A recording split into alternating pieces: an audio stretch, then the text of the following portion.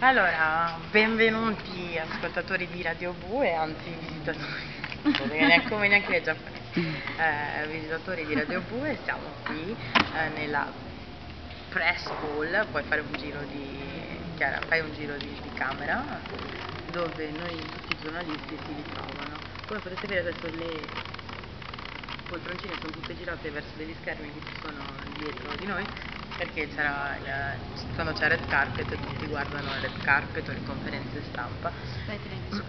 sì, qui ci ritroviamo noi nerd giornalisti a fare le scrivere. Ieri purtroppo non abbiamo potuto fare subito con impressione a caldo il nostro vlog per il motivo semplice che abbiamo finito a mezzanotte due, cosa totalmente folli, tutte le nostre facce molto sveglie. Che cosa siamo andati a vedere? Il primo film che siamo andati a vedere ieri, Chiara?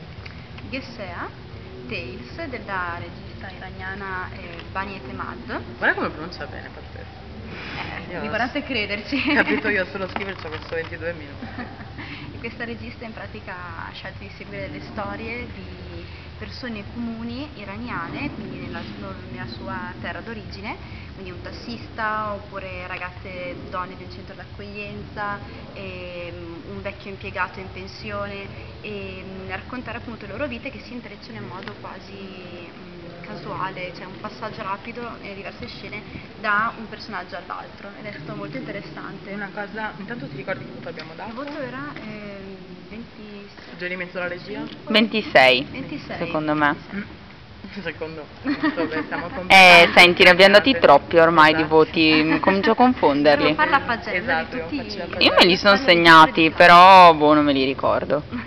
La voce che senti te da, dall'altro capo della camera è Chiara Sì, che ormai ci vedo doppio dopo tutti questi film. Devo ancora mangiare ed è... sono le 11, ma vabbè.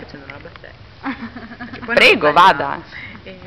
No, perché lo carico io. Che ha detto lei in conferenza stampa, che l'ha seguita? Eh, sì, adesso la più interessante penso sia mh, quando parlava della realtà politica iraniana che è molto svantaggiosa per i registi eh, iraniani e che a volte appunto non permette di fare film e lei dice io per questo film sono riuscita invece a realizzarlo, sono molto contenta, non voglio parlare di difficoltà vissute, voglio condividere la mia gioia con voi.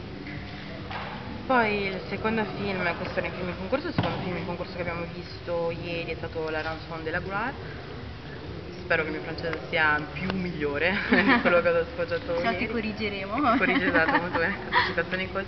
Eh, di Alexavier Beauvoir che narra la storia della trafugazione e del trafugamento, come si dirà mai? Quando hanno rubato il del cadavere furto? di, del, grazie, della grazie. salma di della salma Charlie di Chaplin. Charlie Chaplin da parte di due immigrati in Svizzera. Stavamo discutendo molto di questo film, non è piaciuto la critica italiana, io trovo che le citazioni di Chaplin c'erano più o meno visibili, è un film godibile, però non, non rimarrà certo negli annali della Tra i storia del memorabili. calcio. Io sono andata a vedere reality poi di Quentin Dupier terrificante, nel senso che come ho detto già in collegamento è un Inception che fa ridere, questo regista mette, eh, parte in maniera molto lineare e poi si dà, sta completamente in una versione ma guardi se stai mettendo in focus Eh, perché sapete Chiara si sta tipo addormentando quindi la macchina scende. Non è vero, siete perfettamente a fuoco e ve ne renderete conto non appena lo vedrete. Eh, comunque a un certo punto queste storie si collegano una, una all'altro in maniera totalmente random, eh, non sai che cosa hai visto, io l'ho rimandato assolutamente a settembre, poi Spi si è andata a vedere Melbourne, le è piaciuto molto, invece Chiara è andata a vedere Dearest. Canide, probabilmente si pronuncerà, è la storia molto toccante dice di questi genitori che perdono un figlio e poi lo ritrovano dal tipico gusto orientale. Ci Sì, molto bello. Poteva essere un 30 e Invece si è perso 7. verso il finale. Mannaggia. Poi siamo andati a vedere 99 Homes. Dopo una pausa di circa 6 minuti siamo andati a vedere 99 Homes. 99 Homes è il tipico film intelligente che non si applica. Chiaramente è un film che parte molto bene, Molto devo bene, dire, ma Attori anche finisce abbastanza bravi, insomma. Andrew Garfield, no? No, Eh, Shannon invece. vabbè, ma Shannon potrebbe tranquillamente fare anche la questa poltroncina sarebbe bellissimo farlo. credo sia un attore fantastico che poi ritorna eh, in un film che abbiamo visto oggi.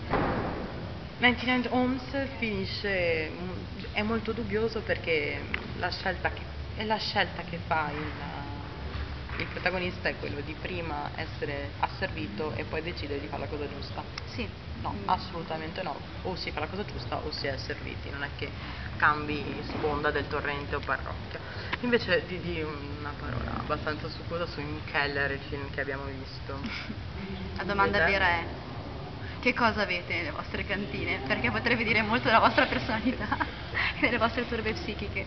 Abbiamo visto questo documentario austriaco di un autore, Ulrich Seidel, che si chiama Molto Im Keller, eh, vuol dire in cantina, e dove appunto riprende queste persone e le loro ossessioni eh, che tengono nascoste nelle loro cantine. E Se voi a casa avete scarpe e vestiti vecchi, sì, come Non vi tutti. preoccupate, siete normali. esatto, c'è gente che ha il poligono, in questo documentario gente aveva il poligono di tiro, eh, gente aveva la love room, eh, cose allucinanti. Invece Chiara è andata a vedere, eh, mi dicevi Heaven Snow What, Giulia ci diceva che balle questo film, mentre me lo raccontavo ho capito solo questo muore bruciato.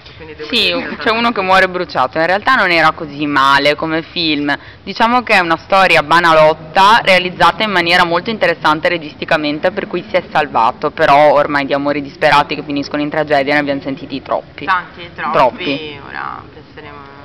Per noi e no. Eh, noi no, vogliamo più... mm, Più cantine. cine- più cantine e più cinepanettone al nido. Collegamento è tutto, adesso ne rifacciamo a seguire subito un altro, fresche fresche, per parlare della giornata di oggi. Ricordiamo che ci potete seguire tutti i giorni su radiobue.it in diretta e nel, nel, nel circuito raduni, oppure seguire i nostri tweet su radiobue.it o at vivipadova.it, leggere i nostri articoli sul Vivi Padova.